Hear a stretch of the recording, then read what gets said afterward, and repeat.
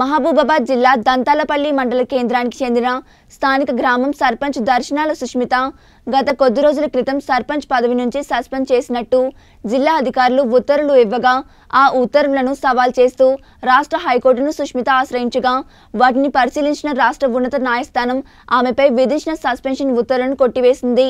ఈ తీర్పు పట్ల సుష్మిత స్థానిక గ్రామ పంచాయతీ కార్యాలయంలో విలేకరుల సమావేశంలో తెలియజేస్తూ ఆనందం వ్యక్తం చేశారు.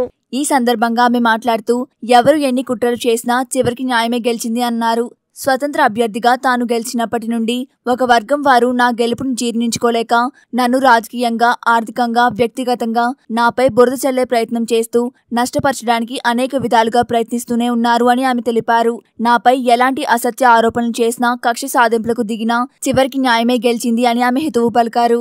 ఇకనైనా స్థానిక ప్రజాప్రతినిధులు గాని నాయకత్వం గాని ఇలాంటి దిగజారుడు రాజకీయాలకు స్వస్తి పలకాలని ఆమె గుర్తు చేశారు.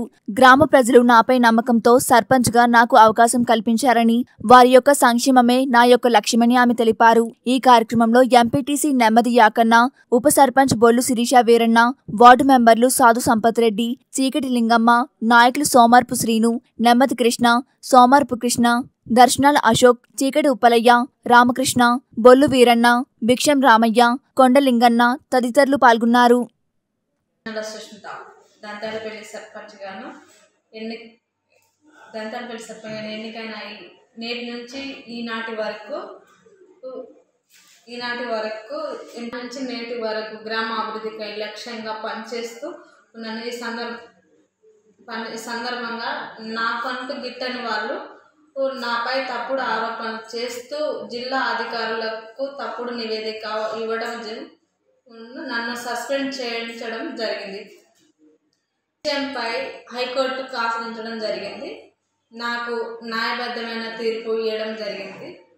ఇకపై నాకు గ్రామ నాయకులు కానీ పై నాయకులు కానీ నాపై ఎలాంటి తప్పుడు ఆరోపణలు లేకుండా నాపై బురద చల్లే విధంగా